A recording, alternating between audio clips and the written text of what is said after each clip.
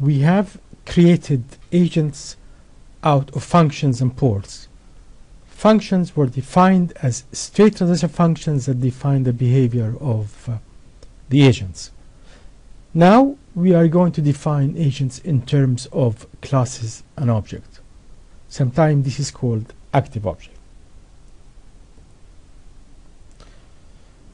So, agents, as we said, are made stateful by using function, function that takes a state and a message and create a new state, and ports. Now let us make agents out of objects. So in this unit we are going to define object-based agents. A class will define the agent behavior. The local attributes or of an object will be the local state variables of an agent. A method head will be the corresponding message that is sent to the agent. And methods definitions will be the message handlers, the code that is executed when a message is received by an agent. And this corresponds to state transition functions. Each object will be associated with a thread that reads the messages out of its corresponding stream and then invokes the corresponding method on the object. Here we have an example of class definition that represent the behavior of object, but in our context we are going to treat this as an agent definition. So let me explain. So this class will define the behavior of an agent. Agent have a local state. In this case, the attribute of the object, the local attribute balance will be the local state. The agent can receive messages. In this case, we have one, two, three, four messages the agent can receive. init withdraw deposit balance. And it also has a default method. This is default in the Oz object system which says ignore other messages and if an agent receives uh, a message it has a behavior so the method defined here will define the behavior of the agent if it receives a message. For example, if it receives a message withdraw, so now we are using objects and classes to define the behavior of agents. How we are going to create agents out of this? By the same way that we did create agents before.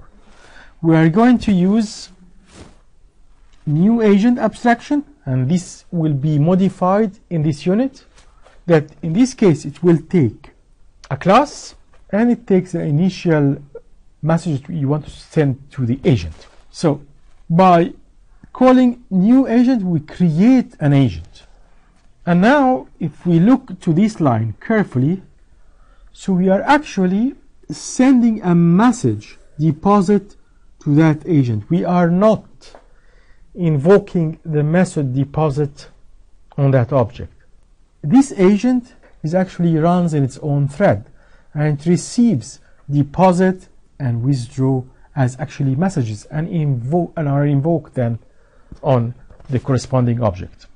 If you run this deposit and then you send a message again deposit, you send a message withdraw, and then you say, you ask for the balance, you should expect to get the balance 100.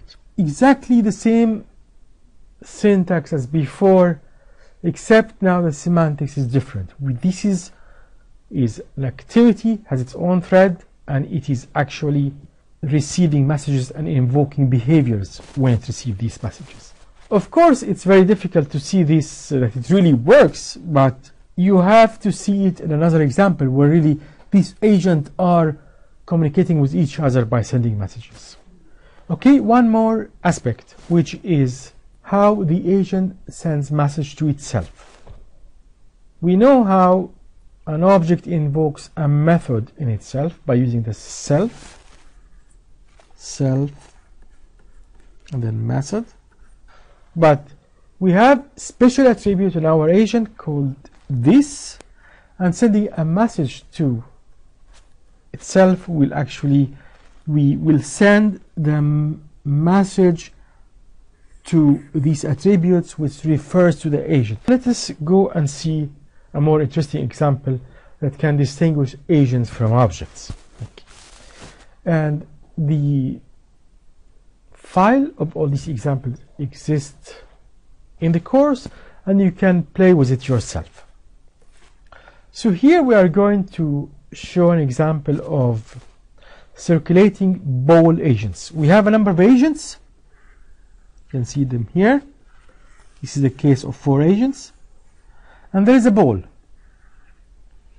And what we are going to see is these agents are going to circulate a ball among each other. When we start with, with, with agent ball 1, it will send the ball to the second agent. When this agent receives the ball, it will send the ball to the third agent, and where this agent ball 3 receives the ball, it will send the agent to the fourth agent, and then it continues circulating. So this is a question of agents sending balls between each other. Okay.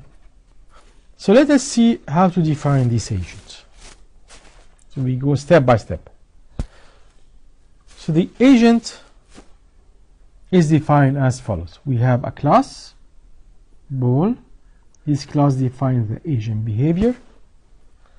We are going to have an attribute n will be the round number of the times the ball circulates around this set of agents. So when a ball circulates and comes back, this is one round. When it continues and circulates and comes back, this is the second round. I will give a number to the agent. So we can talk about ball agent 1, ball agent 2, ball agent 3, and so on. Agents will store the list of all agents in our system. So if we have four agents, four, the four agents will be available in these lists.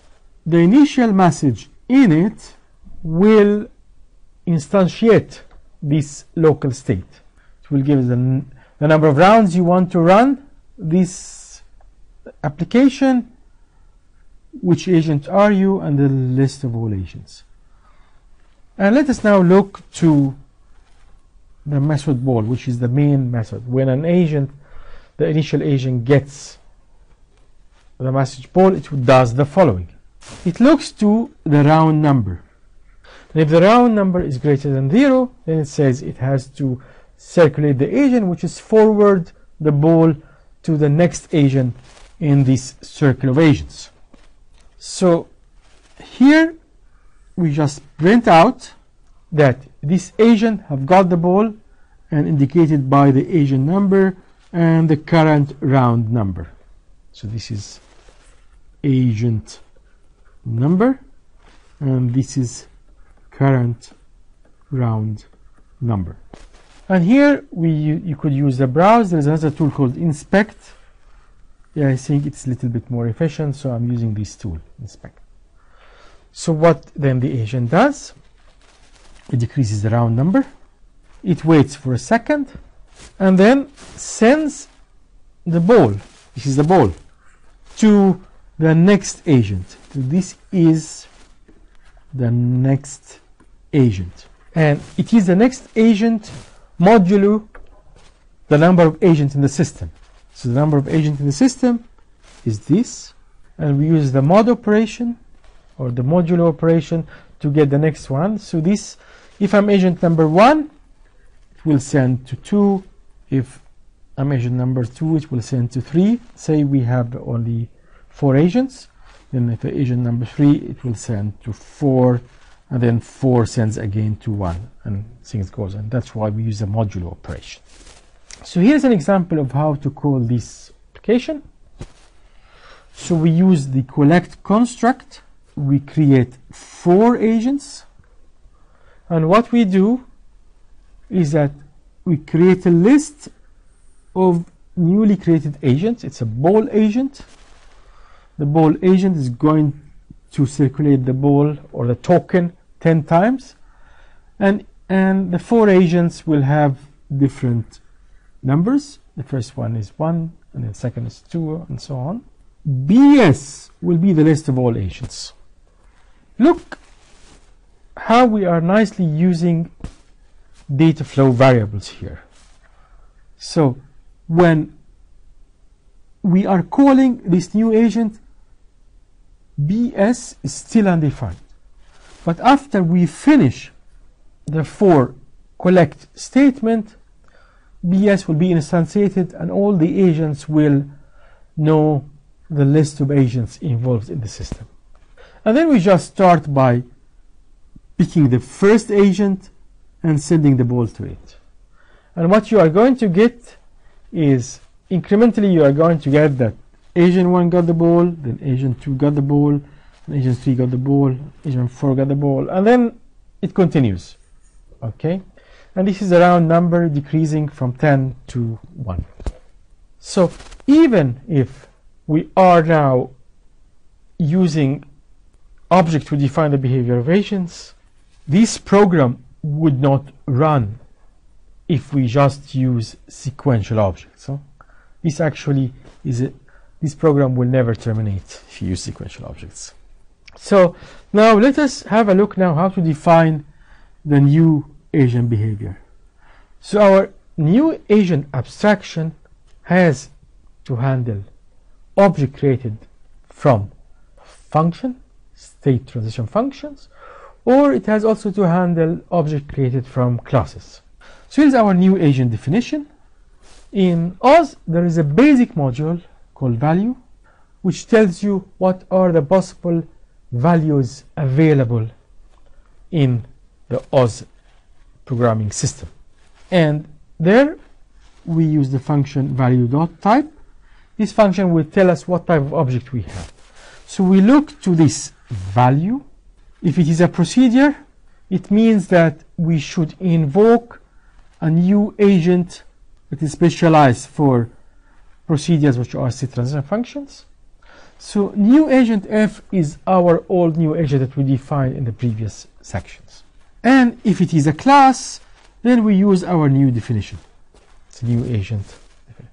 So let us look now to this one, the definition of new agent from classes. So here is a new agent, new new agent defined in a simplified form. So here is our new agent class. It takes a class, an init message in this case. It creates an object out of this class. This is the object. And has p.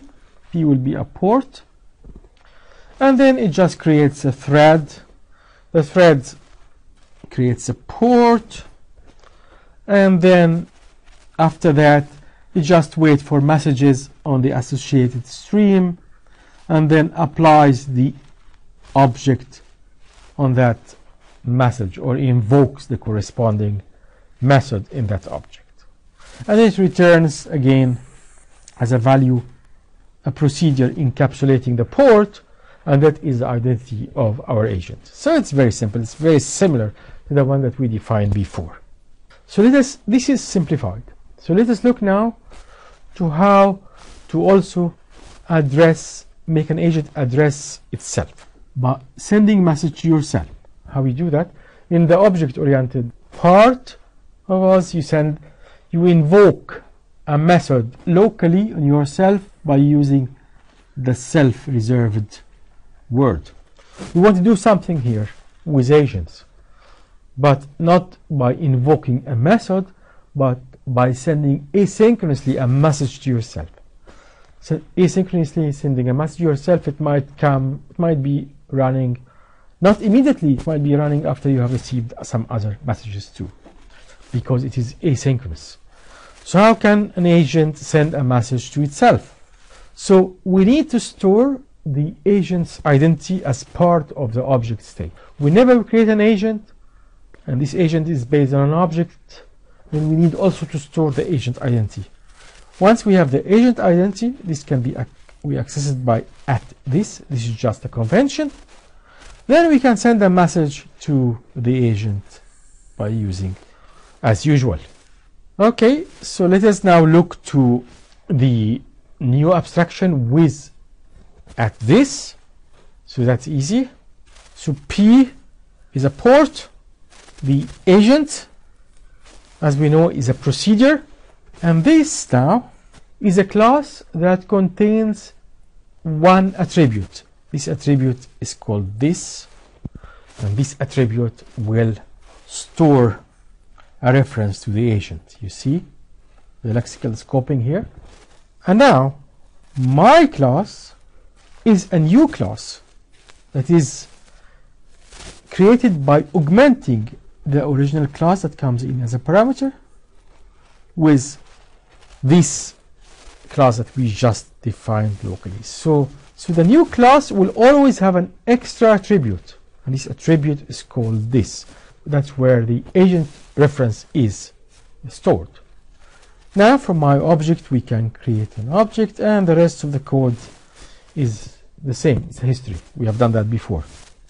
So we have just touched the surface of agent based systems there is a lot of things that you can do with agents. What we have done is just the beginning. So, as a summary, concurrent agent can be built out of objects that define the behavior or state transition function that define the behavior of agents. You can choose which one. We used ports to encapsulate the behavior of agents. So the implementation is not observable from outside.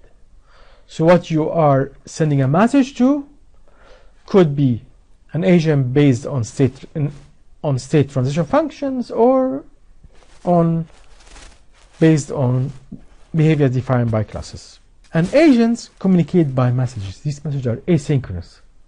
This is not like a method call, which a method call is directly invoked is asynchronous. And we have seen sometimes that we, if we want to run internal protocol sessions, we could use data flow variables as single value channels that is used just temporary within a local session.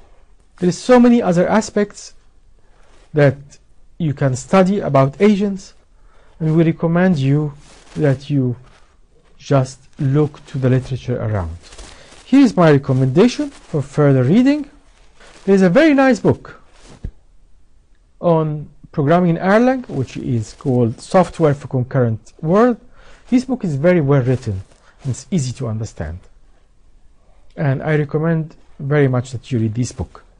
Another book where is called Akka concurrency. This is a framework used in Scala. Scala is uh, a new language. Uh, I will say a new language for the JVM, the Java Virtual Machine, that is becoming more and more popular. And Akka is a framework to do concurrency there. So Akka concurrency is a good book to read about agents. It's, they are very similar to the one that we described in this in this uh, uh, lecture. Thank you very much.